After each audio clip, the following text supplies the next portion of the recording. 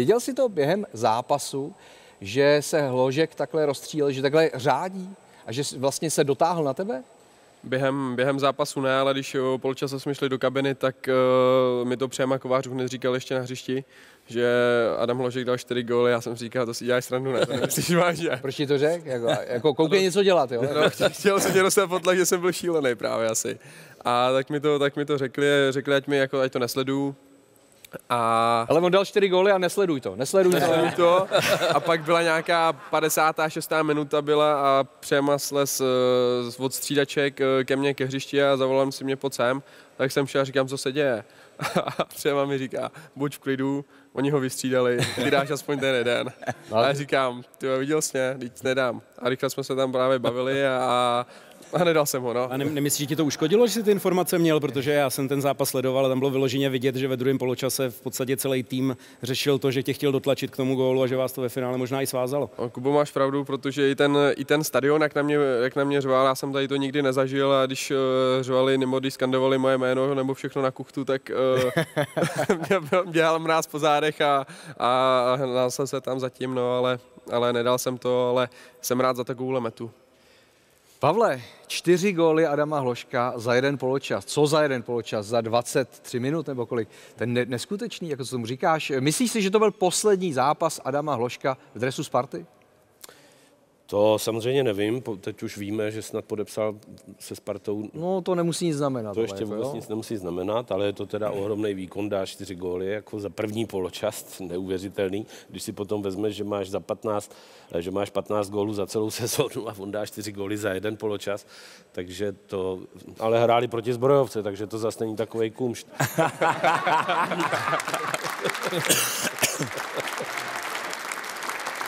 ale ne, si dělám srandu, my se tady... Pamatuju si lidi, kteří do mě kopou, buď v klidu. Vrátím ti no, ale zase Adam Ložek má brněnskou minulost, že jo? Jasně. Pozor, jako. Ale to... No, tak je, je, to samozřejmě neuvěřitelný a vlastně, když si vedl o čtyři góly v posledním zápase, který začínal, všechny začínali v pět hodin odpoledne, právě kvůli tomuto, nebo nejen kvůli tomuto, tak je to, to je, eh, je to k nasrání. No. já myslím, že jsou spokojení oba. Takhle, já si myslím, že si zatím šli celou sezónu a je to, dopadlo to nakonec dobře. A Adam Hložek, eh, asi mu můžeme jenom, jenom chválit. Já si myslím, že Sparta udělala největší posilu, kterou mohla udělat, tím, že ho podepsala. Určitě si myslím, že zůstane během poháru, pokud se Spartě dostane, mm-hmm. podaří dostat do ligy mistrů.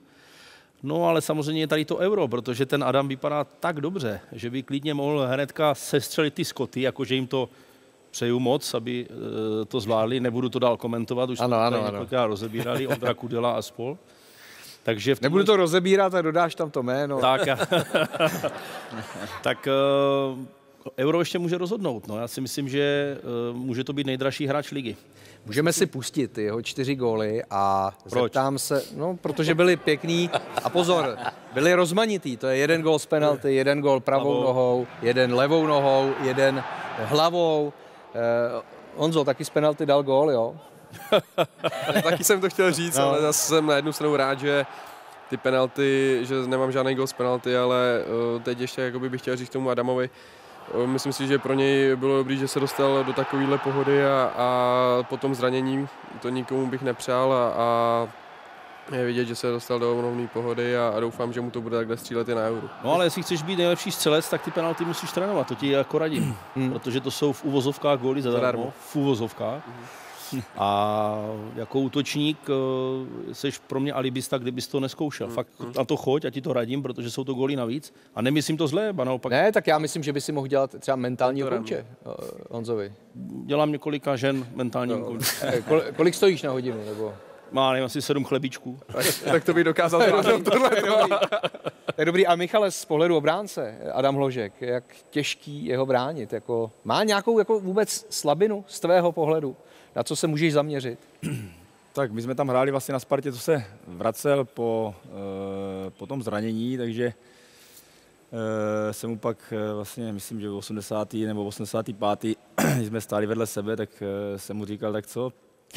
A není to žádná prdel, že hrá 90 minut po zranění a on byl v předklonu, já jsem vedle něho stál a myslím si, že on má těch 40 let a já těch 18 a ona A říká, no není, no, protože fakt opravdu po tom zranění a konečně on je teda v mladším věku a já už v tom pokročilém, tak eh, po tom zranění je to strašně složitý a klobouk dolů, jak se dal rychle dohromady a, a určitě je to jeden z největších talentů, co tady běhá, je to vidět, eh, dává góly levou, pravou, říkal z toho hlava, moderní typ útočníka a, a uvidíme, kam ta jeho cesta povede. A možná by bylo lepší ještě, ještě, ještě chvilku zůstat. Jo. Přece jenom to zranění není zas tak dávno a ještě, ještě možná třeba ten půl rok a těžko říct, ono můžeme říct až potom, že zase, jak se spekuloval, třeba jestli Liverpool nebo někam takový těch top klubů, možná to je zase moc brzo, protože je to klub, který potřebuje hrát. A to se chci zeptat, jestli jako v jeho případě, když takový, takový super talent, i z hlediska třeba dat, anebo tvého pocitu, jestli spíš eh, zvolit nějakou mezistanici